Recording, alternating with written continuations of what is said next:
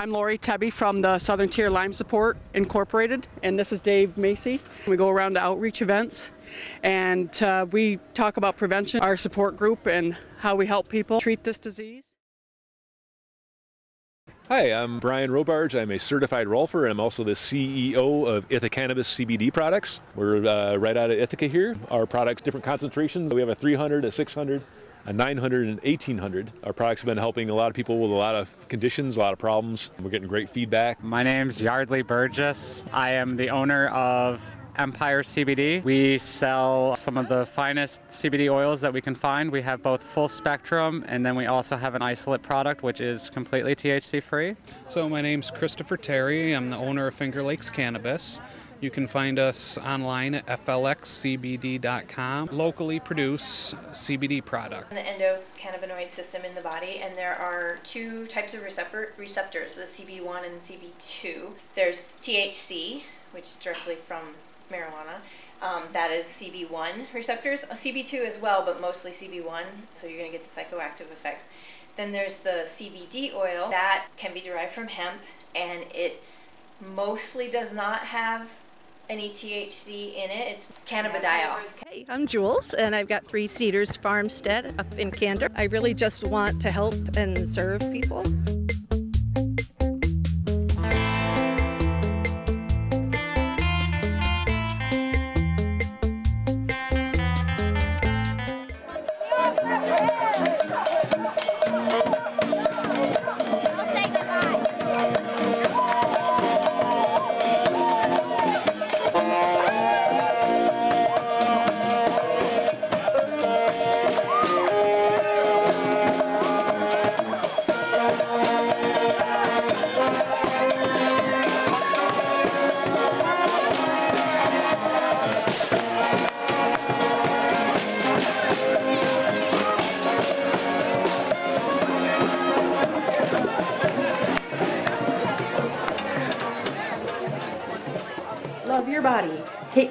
Your time. Steward your finances. Tune into your intuition. Balance your mind and calm your emotions. Teaching Ithaca Wellness. I'm Jules, and I've got Three Cedars Farmstead up in Candor. I really just want to help and serve people. We've got a Facebook page. Do not have a regular web page because I don't put my energy there. I put my energy into what I do. I got to start with kind of where, how I fell into it, which is I had a friend who sold oils and I was kind of interested. I took a couple oils and then I went and I hurt my knee and I ended up home and was having a really hard time with moods and everything. And she said, Let me come over and we'll play. We helped my mood and days go from really down to back to normal.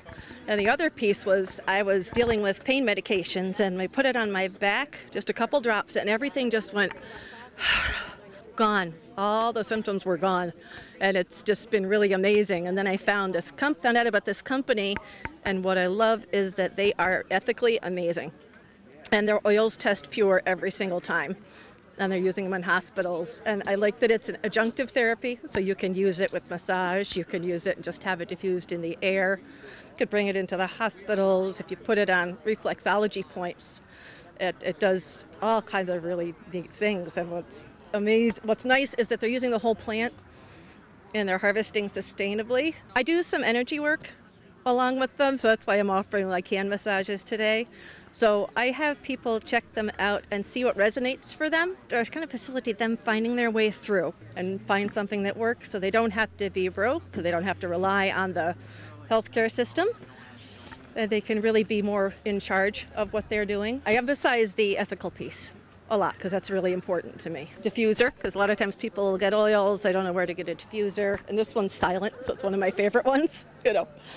And then we've got another sale on a bunch of kits, so I've got that out. And there's drawings for this and information. If you want, if you wanted information, I had a gal buy who wanted information on diabetes, and I don't have a lot of information on that, but I'll get it for her. We've got body butter out and a few of my favorite blends out for people to try, and we've just got some events that are coming up. And I also will tailor any event if anyone wants an event. I will tailor it to whatever you're looking towards. So if say a bunch of massage therapists wanted to know what oils to use for a couple different things so they could have them for their practice, can bring and tailor oils to that.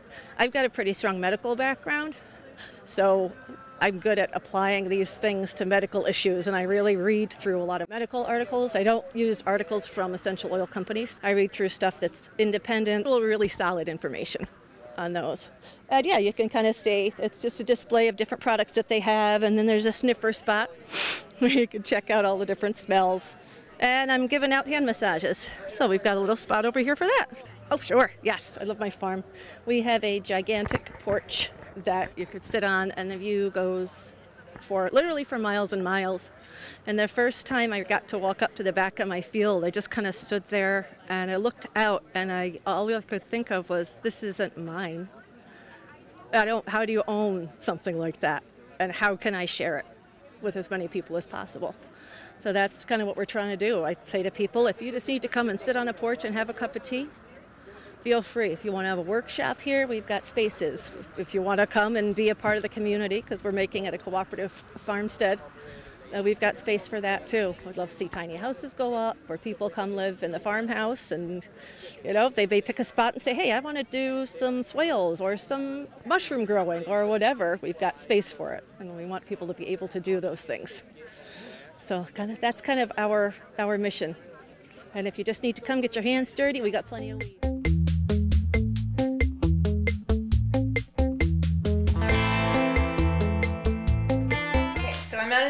But I can give you what uh, little surface level understanding that I have of it.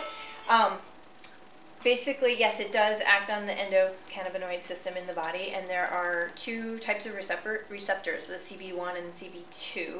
Um, the CB1 is uh, related to the psychoactive effect, and the CB2 receptors are all over the body, and they're connected to all the other systems of the body. There's THC, which is directly from marijuana. Um, that is CB1 receptors, uh, CB2 as well, but mostly CB1. Then there's the CBD oil, um, and that is can be derived from hemp, and it mostly does not have any THC in it. It's mostly the cannabidiol, and that's going to act on the CB2 receptors. However, not directly. It goes into your body, and there's a chain of events that occur, and eventually acts on the CB2 receptors. Um, and then there is beta caryophyllene, and that is what is in copaiba. And it's in other oils as well, like black pepper, uh, pink pepper, ylang ylang, various other essential oils, but it's in a very high percentage of um, copaiba. Beta caryophyllene acts directly on the CB2 receptors. So when it's introduced into the body, it's going to go directly and, and immediately affect those receptors and have the positive effects that you're looking for. The benefits of the copaiba itself that, that I've learned, and it's related to like cardiovascular health, um, anything with the, the nervous system. This is the um, peppermint. And they also do the on guard. All of the oils go through at least 212 degrees Yeah. for an extended period of time because they're distilled by steam. Right. So if you're staying under that, nothing is going to happen to them. Mm-hmm. Um, the beneficial, the therapeutic benefits may be affected by long-term higher heat. Do you want to do some more smell? Um, but I, I don't think I don't think that when you're using essential oils for cooking that you're intending it Right, to be yeah. therapeutic. It's about the absolute yumminess. Hi, I'm Erica Spencer. I'm an acupuncturist and I treat emotional and physical pain through esoteric acupuncture.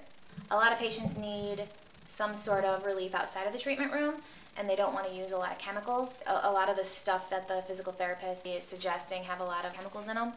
So I've been incorporating CBD salve, which is, you know, very natural stuff is in here. Uh, menthol, camphor. This is actually kind of controversial, so I try not to advertise for this. I just use it in the, in the treatment room and I sell it out there. Having somebody like me here is really helping bring light to the area again. My name's Yardley Burgess. I am the owner of Empire CBD. We sell some of the finest CBD oils that we can find. We have both full spectrum and then we also have an isolate product which is completely THC free. So those are our main products. We have different versions of those edibles, vapables, sublinguals, uh, topicals. Yeah, CBD works because we all have an endocannabinoid system. When you introduce endocannabinoids, which is CBD, into the system, and then it it helps with inflammation. It helps fight antibacterial. It can help with cell production. It, it can do so many different things. It's just a wonderful product for overall health and healing. It's all natural, so it's a great natural alternative. When I was 18 years old, I was in the military. I was diagnosed with uh, colon cancer. They found I had lymphoma. Then, about four years ago, gastric cancer. So I've lost both my stomach and my colon. I've had crazy amounts of anxiety my whole life. My I had chronic pain that I couldn't do anything about because I didn't have a stomach or a colon, so I wasn't able to take anything for the relief. I started taking CBD about 13 months ago.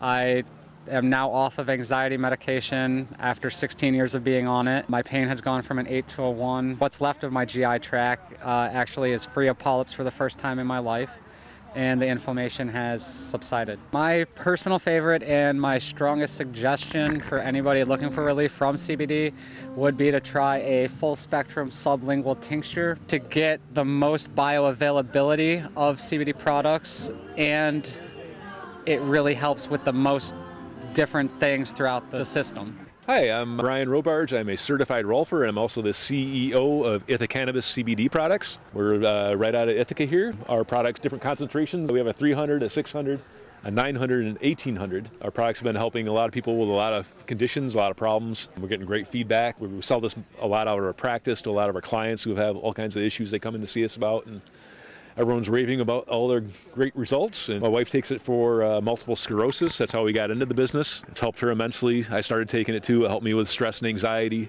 excellent sleep. Our daughter helps out. She does a lot of the graphics. This is Khalil. We're hoping to be carried at our own store hopefully soon. We're looking for a brick and mortar right now in, in Ithaca. And we're also uh, probably be carried at Green Star hopefully soon. Well, we're in a professional building down by the Commons at 108 South Albany Street. We just did the state fair. That was pretty awesome. Meeting thousands of people with all kinds of conditions and giving out free samples. And probably my favorite point of that was helping out a fellow with Parkinson's who was shaking like a leaf. He tried our 1800 and started smoothing out while he was talking to me. And I said, Are you smoothing out? And he goes, I don't know. I'll have to get back to you. Comes in waves, so he goes, I'm going to walk around for a little bit. And he came back about 45 minutes later and said, it's absolutely, he goes, I feel amazing. And little things like that make this all this worth it. We love the business. And we emphasis on hemp history. We like to talk to people about that. Say this flag here. This is uh, the 13 star flag.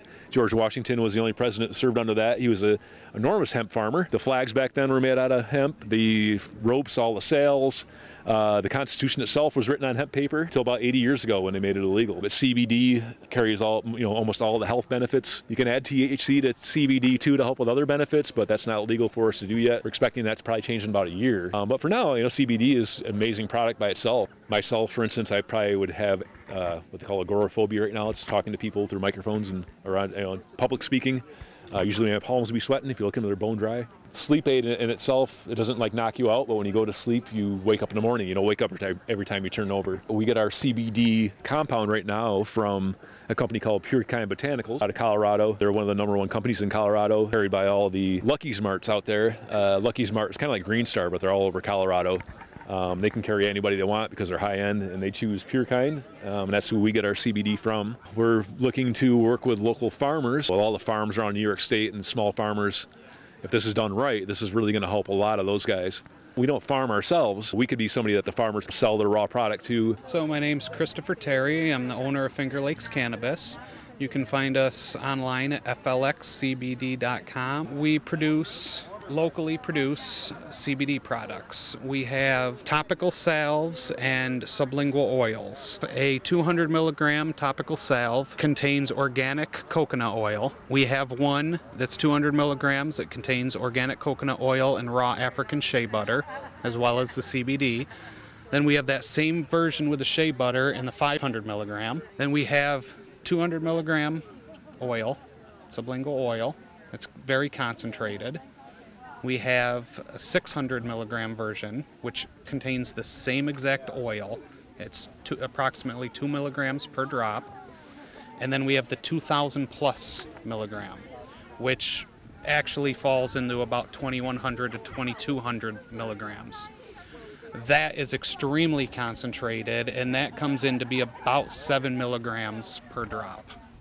I mean, I've heard of people canceling their surgeries due to using CBD products. And people say that they haven't slept in years and got a full full night's sleep for the first time ever. Uh, We're, we're based out of Montour Falls, but we don't have our, our own brick and mortar shop. We're in a few retail locations. Wrap It Up Gift Shop up the road here, Stillman's Greenhouse in Montour Falls, Panache out in Corning, and we do the bulk of our sales online. All our oils are produced here. They're very concentrated. We use organic ingredients. The only non organic ingredient we use is our shea butter, and that's because that's imported directly from Africa and they don't follow the same certifications over there. Try it. Try it. It may help you. Could change your life. My theme is medicinal flowers. I didn't want to get too much into the herbs, even though now I'm taking a Lyme disease seminar course this next week just to help with that. It's really predominant in this area.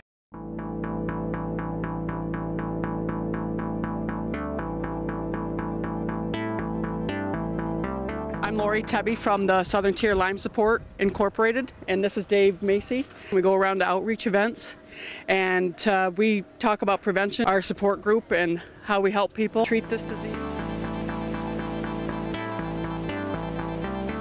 We are incorporated, so we are a not for profit, and we're based out of Binghamton.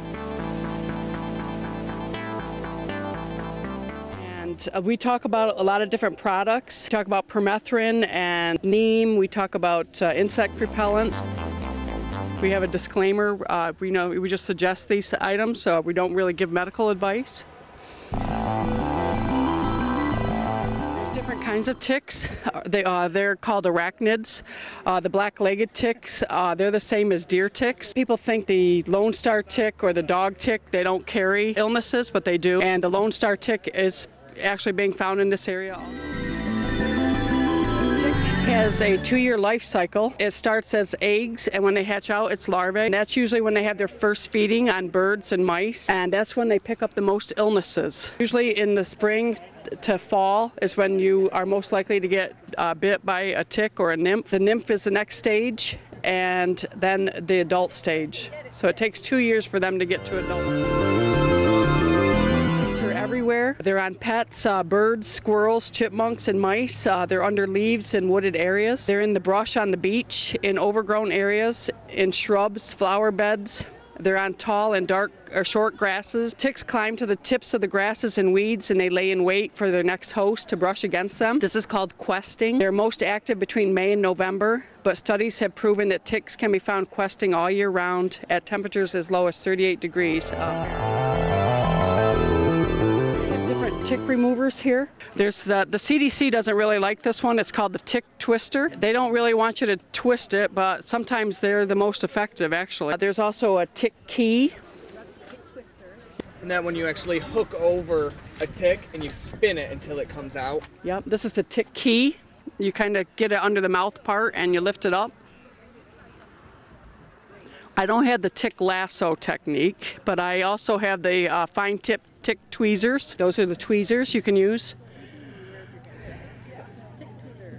Yeah, that is a, uh, a tick lifter to get under the mouth part uh, right through here where the slit is. And then uh, it does have a little magnifying glass. And also I have the ticked off scoop. And we sell, uh, we don't have the magnifying glass, but we do sell tick removers for our support group. You want to remove ticks promptly and properly. Uh, you don't want to touch the ticks with your bare hands uh, because the infective agents may enter through mucous membranes or breaks in the skin. Uh, you don't want to twist or jerk the tick um, because the mouth parts of the tick may become embedded, increasing the risk of infection. Uh, you don't want to squeeze or crush or puncture the body of the tick, especially after they've had a blood meal. The tick saliva and the gut contents may be released, increasing the risk of infection. Alcohol, Vaseline, don't put a match on them uh, because the ticks will regurgitate uh, their stomach contents. Uh, it makes them more ag- agitated and they're gonna, you're gonna get more risk of infection. No matter what you see on Facebook, don't put anything on them. Yeah, especially A if lot they're of embedded. people are, you know, promoting putting peppermint oil or burning them, and that's not what you want to do. Yep, get them out Follow first. Our protocols Yeah. the safest way. Yeah, you want to get close to that mouth part and lift up and wait for them to release. Um, clean the skin area with an antiseptic afterwards. Uh, you can save the tick for testing at testing labs. Uh, we recommend Ticknology. and uh, call your doctor and stick the tick on a piece of tape for disposal or take it to your doctor and show them what has been. Symptoms, probably less uh, than 50% of the people have a bullseye rash, and sometimes they don't even look like a bullseye. It could be like a solid red mass on your body, or it could be several rashes. There are three stages of Lyme disease, early localized, early disseminated, and late stage.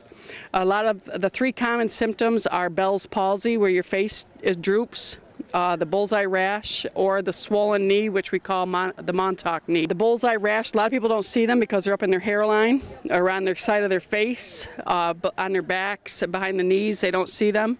And uh, that, that's why they don't checked right away. You don't have to have a bullseye rash to have Lyme disease. Some of the illnesses, co-infections that ticks carry, they don't just carry Borrelia, which is the Lyme disease bacteria. They carry uh, Rocky Mountain spotted fever, Q fever, uh, tularemia. Uh, they also carry uh, the Powassan virus, which is becoming serious. It's very deadly. Um, they also carry babesiosis, which is a protozoan. It's like a cousin to malaria, and also Bartonella kind of had the similar symptoms, a lot of these illnesses, just the achiness, uh, in inflammation, uh, fever. Bartonella, you get red streaks. It looks like you have cat scratch fever. You get cherry angi angiomas. That's a sign of babesia. Uh, the red eyes, it looks like conjunctivitis. We're going to talk about prevention, um, what you want to put on your skin, eat free, but this is an insect repellent. Uh, you can use neem, neem tree oil. Um, you can use uh, essential oils uh, like rose geranium. I believe this has uh, DEET in it. This has got uh, sun protection. But for your clothing, you don't want to put this on your skin, but we use permethrin. Wear white or light colored clothing to see the ticks easier. Wear a hat and tuck in your hair if possible. Wear a long sleeve shirt uh, fitted at the wrist. Uh, wear shoes. we recommend no bare feet or sandals, but especially when you're out gardening or hiking. Um, wear long pants tucked into your socks, um, and remove clothes and put them in the hot dryer on high for 10 minutes when you get home. Stay in the middle of the path when you're walking. Do tick checks immediately when you get back inside. Check behind your ears, the back of your head, uh, behind your knees, in your groin area. Uh, they do uh, the anesthetic to uh, numb the area when they bite you so you don't feel it. People never even find the tick, and that tick, you know, latches onto you, stays on for a period of time, and then falls off before you ever knew you had it. So being aware of possible symptoms is super important that you don't have to remember having a tick to have Lyme disease. When you get back home, remove your clothing, put them in the dryer for 10 minutes. Uh, the high heat will kill the ticks. We also recommend uh, doing like a roll, take a roller brush when you go hiking so you can just keep rolling your body and your clothing. Take a shower so that you can check yourself over when you get back inside. Um, if you find a tick that's unattached, you know, use the lint roller. But if you do find one that's attached, remove it correctly, especially the mouthpiece, because the saliva has the bacteria and apply an antiseptic or an essential oil such as tea tree, clove, thyme, oregano, or cinnamon, and go to the doctor immediately and demand antibiotics. Not just the two-day course of doxycycline. That will just prevent the rash. You need to get at least a month's supply, and if you can get a refill, two months supply. Save the tick in a Ziploc bag and a moist cotton ball. Um, you can freeze it if you want to test the tick later. You can send it to ticknology.org and they'll test for 11 pathogens. Uh, if you get flu-like symptoms or a bullseye rash, uh, take a picture of the rash and find a Lyme literate medical doctor on either lymedisease.org, ilads.org, or the Lyme Disease Association.org. Keeping our pets safe, uh, a lot of people recommend Seresto, the collars. Um, there are some pet repellents that they're finding are causing a lot of neurological damage in their pets. We recommend uh, looking that up. Uh, do tick checks and remove ticks promptly. Uh, give your pet a bath when they come in. Uh, contact your vet for tick testing, treatment options, and other info.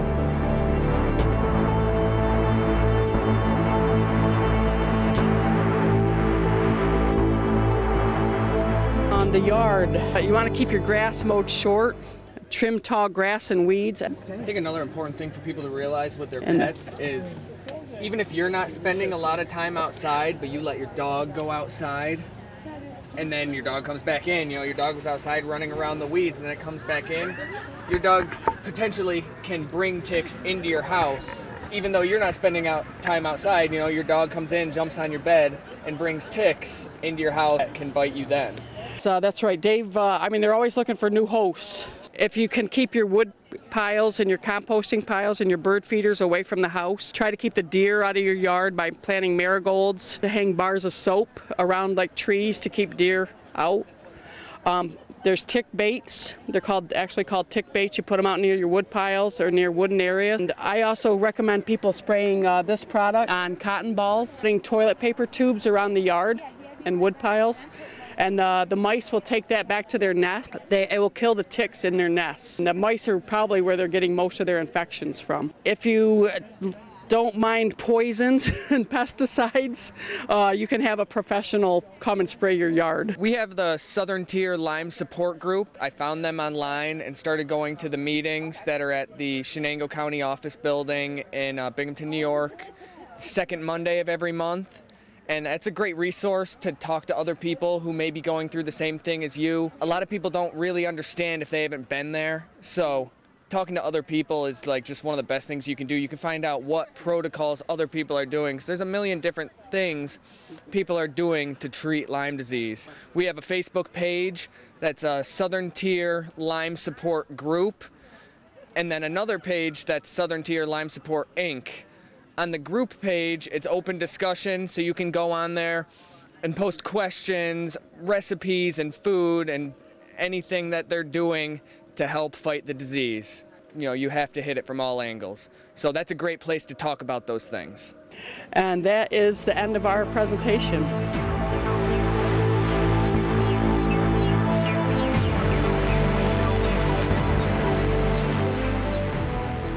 The socks, we sell those as a fundraiser. Uh, we have youth and adults, and they are $10 for a pair for the children and $12 a pair for adults.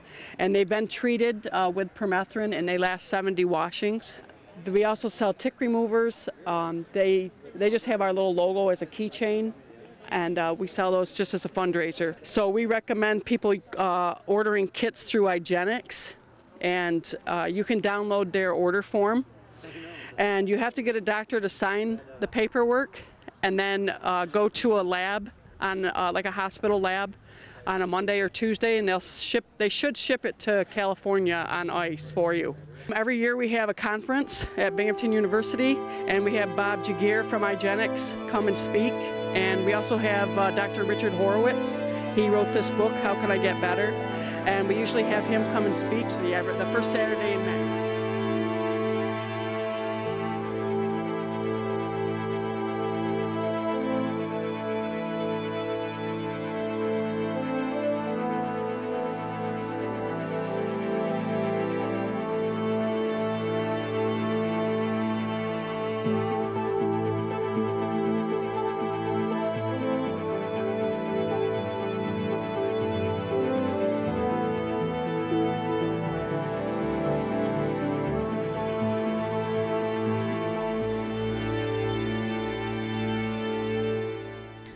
Next week on Teaching Ithaca Wellness.